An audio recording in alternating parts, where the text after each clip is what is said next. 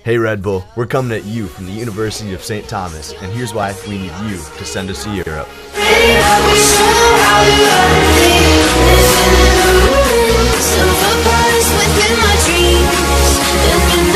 Why should they choose St. Thomas? Because we're awesome. Because We're awesome. As the 2014 Minnesota State champs of Red Bull Schlittentag, we're battle tested, proven as a team, and ready to win. Why should you pick St. Thomas? Because we're well traveled. We've been to like 27 countries. Collectively. Yep. I went to Europe. I've been to Cuba. Why have you been to Cuba? My plane ran out of gas.